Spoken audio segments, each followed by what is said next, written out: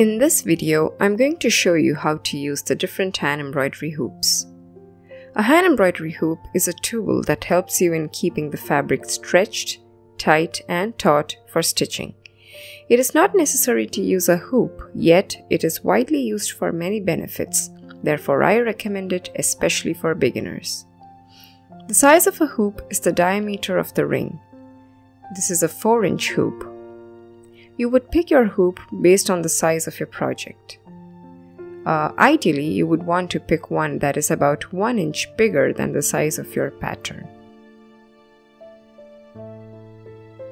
If you are working on a vast pattern and do not have a hoop big enough, use a smaller hoop and move it to the area you are stitching at that point of time.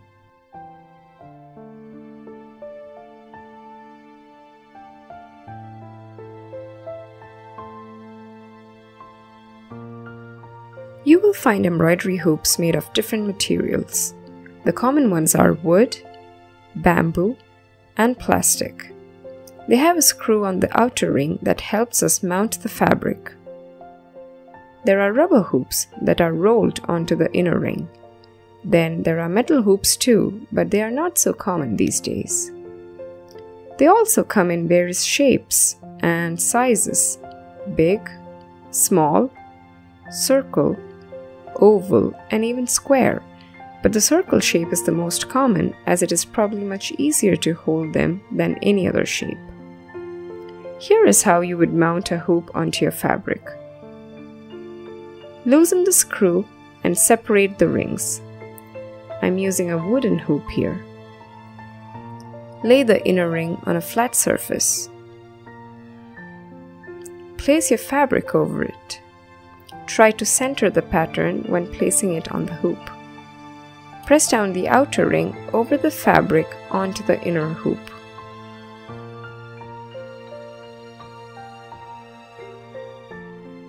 If your fabric is not tight inside, try to gently pull it from the outside and tighten the screw.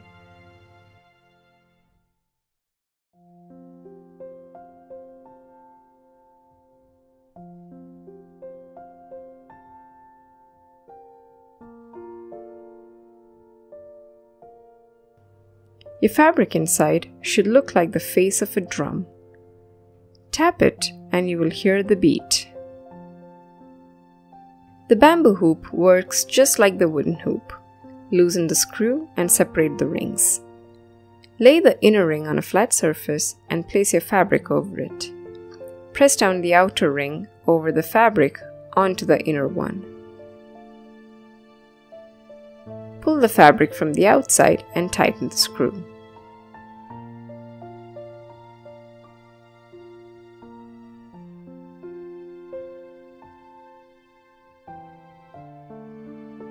Fabric is ready to be stitched on.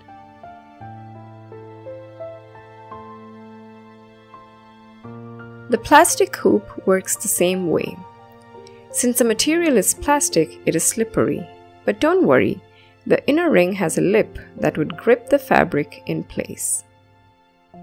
So make sure that the inner hoop is facing with the lip up. Anyway, it is often indicated on the hoop.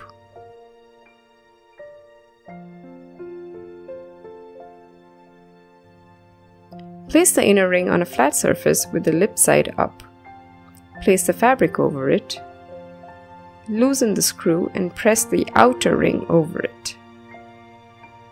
You might have to loosen the screw a bit more than usual to slip it over the projected lip of the inner hoop. Then start tightening the screw. You can see how the lip sits slightly over the outer ring, gripping the fabric.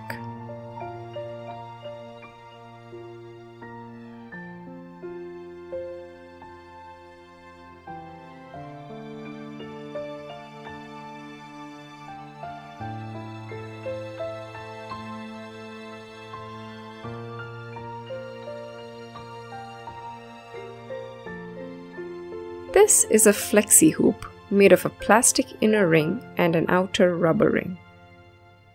It does not have a screw, but the outer ring can be slightly stretched and rolled onto the inner ring.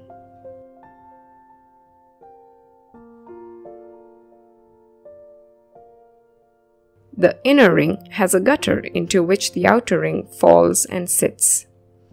Place the inner ring on a flat surface. Then place a fabric over it. And now try to slip the outer ring onto the inner ring. It will be easier to hold the rings closer to you to do this, unlike what I am showing here. It stretches the fabric well and holds it in place firmly.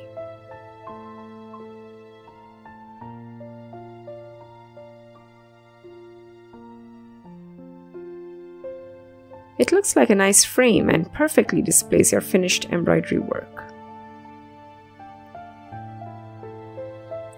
I hope you found this video helpful. Let me know if you liked this video. Thank you for watching.